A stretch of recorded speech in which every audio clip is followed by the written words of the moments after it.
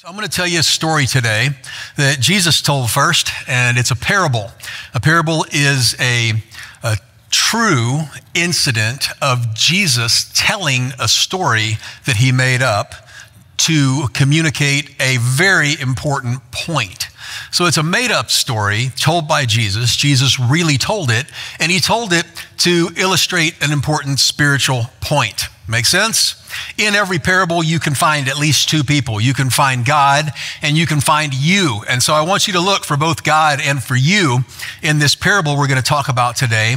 And this parable's a thinker. It's not one of these parables that's just pretty easy to read and go, oh, yeah, I get it. It's been uh, one of those things that I've spent the last 10 days on, and it's just sort of um, had me wrestling.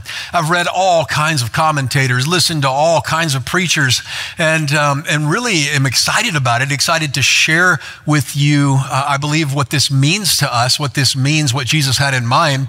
Uh, but it's something we'll have to work through together. Context is always important when we understand stories, when we understand scripture. For me to understand your context this morning, I would have to, to know some things. I would have to know what happened in your morning for me to understand your mood right now.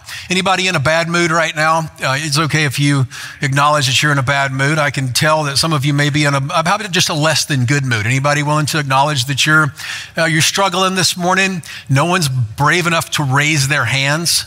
Um, I would raise my hand a little bit. I'm in a great mood now that I'm with you, but the morning kind of started off a little bit rocky for me. I don't know why. Uh, maybe it's missing last week. I missed you guys and getting back in the stride. Well, I would have to understand if you're in a bad mood, why? What happened?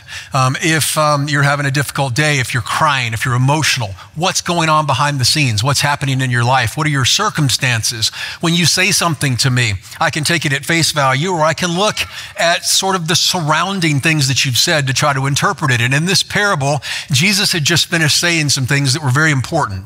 We're going to pick up in the book of Matthew, and the parable is called the parable of the workers in the vineyard. And Jesus had finished a couple of conversations that were important. The first conversation he finished was a conversation with a rich man who came to Jesus and he said, Listen, I am keeping the law. I got all of it taken care of. I treat people well. I love God. I don't sin. What is it that I need to do to go to heaven? And Jesus said to him, Sell everything you have and give it to the poor. And the guy said, Okay, I'll do everything but that. Now, we know you don't have to sell everything and give it to the poor to go to heaven. This guy valued his possessions more than Jesus. And so the disciples kind of puffed up a little bit and they said, This guy isn't willing to give up everything that he has to follow you, Jesus, but we have, because Jesus called the disciples and they left their old lives behind and followed Jesus. And so they said to Jesus, Are we going to get paid because we've decided to leave our old lives behind? We're the ones who've been with you for three years, or it wasn't three years at this point, two years. We're the ones who've been faithful. We're the ones who've been obedient. Are we going to, is it going to be our payday? Because this guy clearly doesn't love you like we do. And Jesus said, Yeah, you're going to get paid, but it's going to be in a way that's totally different than you expect. And then Jesus said something, you may have heard this before. If you've heard it, nod at me. If you're watching online, welcome, by the way. Uh, nod, even though I can't see you, well, I'll know what you mean. Have you ever heard somebody say this? The first shall be last, and the last shall be first. Have you heard anybody say that?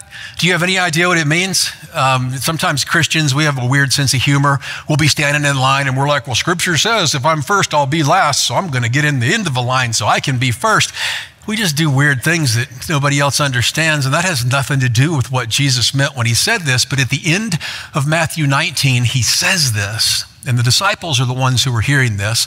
And then at the end of this parable, he says the same thing The last shall be first, the first shall be last, the first shall be last, the last shall be first.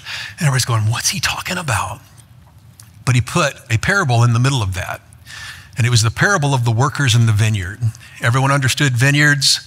Uh, maybe you have a garden uh, at your house. Maybe you grow. Maybe you have plants.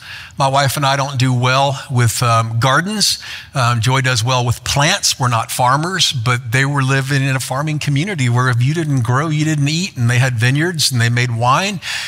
And if you didn't grow and harvest, you didn't have a product. There were no Walmarts, no Targets, no Hy-Vees. And everyone understood workers and vineyards and growing. And most likely, these vineyards occurred in the northern and eastern parts of Palestine in some rocky, um, sort of hilly regions where they would kind of terrace the hills and, uh, and build in these little shelves or platforms where they could grow these grapevines. And in the spring, they would prepare the land. In the summer, they would go and tie up the grapevines and prune the grapevines. And in the fall, they would harvest. And they were on a deadline because it rained in the fall. And if it rained, the grapes would rot. And so this story takes place in a vineyard in the fall. And they were on a timeline. And so the landowner had to hire some additional workers in addition to the normal crew that he would have had to try to make sure everything came in in time and nothing rotted. Are we all on the same page now? We got the setting, we got the context. You know what people would have visualized. You know the conversations Jesus was having before he told this story. And you know the proverb that kind of bookends this parable. It's going to be important in a second for the principle to arrive home. And home is in our hearts. And what we hope is we live differently. So everyone's on the same page, right? We're good. I know it's summer. And by the way, thank you for being here. And thank you for not being on vacation. If you've been on vacation, thank you for being back. If you're online and on vacation, thank you for watching. And uh, everyone comes and goes. And I love the fall because we're all back together. And this morning, right here, right now, it's a great morning. And this is a great message, not because it's from me, but because it's from Jesus himself. And I want to try to explain what I believe Jesus meant in this parable. So let's read together in Matthew chapter 19. Many who are first will be last, and many who are last will be first. For the kingdom of heaven is like a landowner who went out early in the morning to hire day laborers for his vineyard. Day laborers were a thing back in Jesus' day. In Deuteronomy, there was even a law that said if you hire a day laborer, you have to pay them by the end of the day so that they can feed their family. It was a common thing in Jesus' day. He agreed to pay these day laborers that he hired a denarius for the day and sent them into his vineyard. And about nine in the morning, he went out and saw others standing in the marketplace doing nothing. So he told them, You also go work in my vineyard, and I'll pay you whatever is fair. Now, put in the back of your mind that he did not tell them how much he was going to pay them. He just said, I'll pay you what's fair. So at six in the morning, there was a 12 hour workday from six to six. Six in the morning, he went out and hired some day laborers. At nine, he went out. And then he goes back again. Uh, and you'll see this right here. He went out again about noon and about three in the afternoon and did the same thing. About five in the afternoon, he went out and still found others standing around when there was only one hour left. And he asked them, Why have you been standing around all day doing nothing? And they said, Because no one's hired us. Obvious answer. And he said, You go work in my vineyard. When evening came, the owner of the vineyard said to his foreman, Call the workers and pay them their wages, beginning with what? The last ones, because the last will be first and the first shall be last. He sort of weaves that in right in the middle, beginning with the last ones hired and then going to the first. Now, you have a sense of fair in your mind, right? You know what fair is. I know what fair is. Have you ever moved? Anybody ever moved? Um, some of you probably have the wherewithal, the means to hire somebody to come in and pack for you and, and to load the truck for you and to move it to where you're moving and take it and put it in the room where you're, you know, you want your stuff. And if you do, that's fantastic. I've never been um, afforded that luxury. I'm of the school, uh, well, I have to pack my own stuff, Joy and I do, and we have to, we're at the mercy of our friends when we move usually. And, and so have you ever had a friend um, who has helped you move before? Have you ever been that friend? Now, if you ask your friends to move, you're going to find out who your friends are to help you move, right? You know. And who's the first one you ask? The one with the pickup truck. So that's always part of the bad thing of having a pickup truck. I have a really small pickup truck, by the way. I wouldn't be any help for you to move. It's just a little Tacoma. But your real friends come first, don't they? They come right at the first thing in the morning. They come. And then you always have that friend that had something they had to do. And they'll show up at, say, noon or three o'clock in the afternoon, but they'll bring a pizza or a flat of water and say, Hey, I'm sorry, I was busy. My kid had soccer or whatever it was. And you're like, All right, you're here. That's a, more than a gesture. And then you've always got that one friend that just had something. They forgot, you know, their car broke down. They had to get a jump. They had a tire that got flat, some kind of made up excuse. And they show up right at the end of the day. They carry two things. And then after those two things are done, you're done. The move is over. And then they tell everybody they know how they helped you move all day, right? It's that one friend that just drives you crazy. And we have a sense of fair, and it's like, you didn't help me move. People who helped me move were the ones that were there all day. And so you had people who'd been there since six o'clock in the morning, some since nine o'clock in the morning, some since noon, some since three, and then a few that came at the very end. Everyone had a sense of fair. And so the landowner, who, by the way, is God in this parable, says to the foreman, pay people what we owe them, and start with the ones who were here last first. So, this is what happens. The workers who were hired about five in the afternoon, they came and each received what the early birds were promised. The ones who worked 30 minutes received a full day's wages. And this is what happened.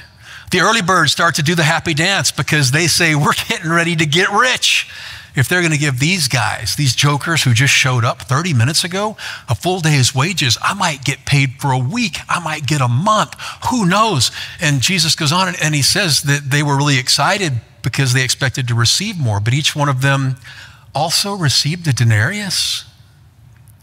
When they received it, they began to grumble against the landowner. Those who were hired last worked only one hour, they said, and you've made them equal to us who have borne the burden of the work and the heat of the day. But he answered them and said, I'm not being unfair to you, friend. Didn't you agree to work for one denarius? Take your pay and go. If I want to give the one who was hired last the same amount of money as I give you, isn't it up to me to do right with what I have with my own money? And here's the million dollar quote the point of this parable. It's the, the thing we have to unlock to be able to understand all of this story. He says, Or are you envious because I am generous? Does it make you jealous that I am generous with my grace? And everyone had to stand and listen to Jesus tell this story and put themselves in the shoes of the people hearing it and wrestle with their own idea of fair. And Jesus was explaining the upside down values of the kingdom of God and how it's unlike any other kingdom. And what's so clear to me is that wasn't the way that you built a huge crowd telling people this, but it's the way you install the truth. And grace and truth are always married together. And Jesus always gave grace at the same time that he was and shared truth. And he says, for those who've been with me since the beginning, who you think he might have been talking to directly? Disciples? Who think it's been this huge sacrifice to leave this life behind? Who think they deserve to get paid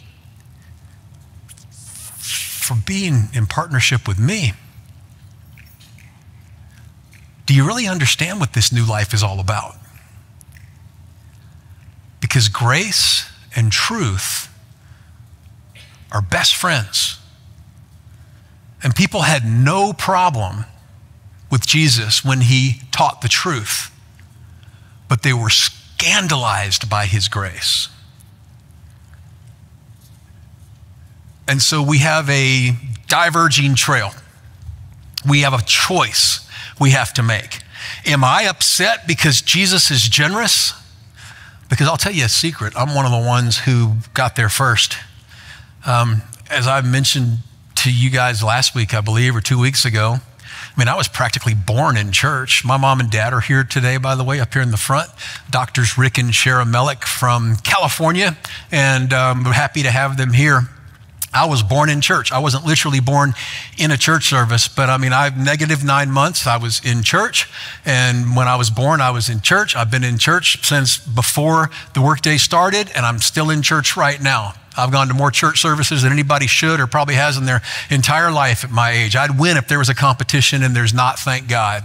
I have crossed all of my T's, dotted all of my I's, checked all of my boxes, done all the stuff I'm supposed to do and I kind of relate sometimes to that person who says that they were there early. 15 minutes early, they've been there the whole time. Well, I'm, isn't the reward going to be better or greater for those of us who've been faithful and left this behind? And Jesus is like, Do you get it? Perhaps the reward is your faithfulness and being able to partner with me as you show people grace so that they can hear the truth. Now, the self righteous person wants people to pay, they want other people to repent, they want them to agree with them. They're angry at people who are far from God. A chip on their shoulder. They want to see them grovel a little bit. And Jesus points out that that attitude is so far, well, from Jesus' attitude, that it represented the Pharisees far more than it did this kingdom that Jesus came to communicate. But when a person really understands the truth and grasps God's grace and realizes what we're called to, well, it changes everything. And everything's what we're going to talk about right after we sing these next songs and we come back and apply this fantastic story. Well, grace is just a word until it's been experienced. And the only way we can experience grace is through the gift of God given to us by the person of Jesus. And without Jesus, we can't understand grace. So here's the truth all of us have sinned and fallen short of God's glory. And the wages of sin is death but the free gift of God is eternal life through Christ Jesus our Lord. Here's the truth all of us have sinned. Now, for those of us who may have been working since 6 a.m., have we sinned? Yep. Is my sin any less severe than somebody who maybe started working, say, at 5 p.m.? No. But I don't grade myself fairly. I look at myself sometimes maybe differently than you, and you might look at yourself differently than the people around you. We're gracious with ourselves, but often ungracious or ingracious to the people who are around us. The truth is that all of us deserve hell, every single one of us. I do, you do, we do. God's grace is demonstrated through Jesus that while we were yet sinners, Christ died for us while we were yet sinners. And Jesus proved it over and over and over again. The woman at the well that Dan and Lori mentioned last week, the woman caught in adultery, Matthew the tax collector, Zacchaeus in the tree, Rick Melick the preacher, Brandon Smart, the youth pastor, Jared Matheny, the family pastor, Dan Shows, the associate pastor, you, all of us, while we were yet sinners, Christ died for us. So Jesus leaves with us, um, passes on to us the privilege, the opportunity to live in such a way or the people around us who may not have a relationship with Jesus yet can experience God's grace in this truth, but He expects people to see it in the way we live. So if you believe that being called out of an old way of life is robbing you of your fun, that you're having to toe the line and obey all the rules, and that if you weren't really a Christian, you'd be having so much more opportunities to enjoy yourself, then we've never really understood grace. But as the disciples asked this question, aren't we going to get paid more because we're following you? Jesus' answer through this parable is you are being paid more because you are living in and extending the grace that I've given you to people as they come to have a personal relationship with me. So, as each person gets paid, we celebrate. We see ourselves as the foreman taking the mantle from Jesus himself and passing on this grace to people who desperately need to see it. But we are ingracious, ungracious. We lack grace. So I'm going to ask you to practice grace. I'm bad at it. I mean, I'm good at it sometimes. Sometimes I'm bad at it. And um, I was bad at it last week. We were on vacation. We got to go visit my uh, daughter in law and my son and my other son, and most importantly, my grandbaby, Emery Lorraine, who I have a thousand stories about, and I'm going to tell them all to you at some point, even though you don't want to hear them. And um, I just absolutely enjoyed myself for 10 days. I missed being here last week. I always miss being with you. But if I can't be with you, I'm telling you, I sure had a good time hanging out with little Emery. But Joy and I, we, when we go there, um, we have a full size bed, and we're used to a king bed, and we have a full size dog who's used to a king bed. And, and so we don't always sleep real well. And when you don't sleep real well, you get grouchy. And I was kind of on baby watch some. And so you're listening for that little voice and down the hall. And, you know, it's different for grandpa. I'm not used to having many responsibilities at night. And so I'm giving you all excuses and reasons why I was a little cranky. And, and Joy, she said something to me one night. She made me mad. She wronged me. She offended me. She said something to me. It wasn't that bad, be perfectly honest. It wasn't even that offensive. I just took it wrong because um, that's just what I do sometimes. It made me mad. And I stewed over it. And I thought of all the things we're going to talk about and all the ways she was going to explain to me why she was sorry and how she didn't really mean what she said. And then we were going to talk about all the times that we discussed it in the past and I repeated it in my mind. The next morning we woke up and she reached over and said, Good morning. And I said, Don't good morning me. You know what you said. We got some things to work out. And then I started thinking about this passage and I'm like, Well, if I'm going to be a, uh, an example of God's grace, if I'm going to live in such a way where people can see the grace of God in me and want the truth of God, uh, shouldn't I start with my wife? And I'm like, I'm not going to start with my wife today. I'll start later. I want to be mad for a while because it's more fun to be mad and to think about, you know, what she's got coming. I started thinking about this passage and I'm like, well, man, she's forgiven me for a ton over the years, but it doesn't count. That was yesterday or last week or last month. And this happened, yes, you know, uh, I've done a lot that she's just let go. And if I'm going to live and be a grace practicer, if I'm going to live in a way where I can, can show the world around me God's grace, where they're drawn to the truth, I should start with my wife. So then I decided I'm going to be gracious. And in my benevolence, I made the decision I was going to say, Joy, you're way down here on the low road. I'm way up here on the high road. I'm going to give you grace in this situation. And that, I didn't say that. I thought that. That's not grace, is it? That's me putting myself above somebody. It's me making somebody grovel. So I explained to myself that grace is giving a gift. It's the gift of the benefit of the doubt. It's the gift of forgiveness. It's the gift of service. It's the gift of agape love. It's the same gift Jesus gave us. And I let it go because I could. Are you a husband or a wife who lives in a way that's so filled with grace that your spouse and the people around you see Jesus and want the truth? Do you parent in a way that's so gracious where you don't demand?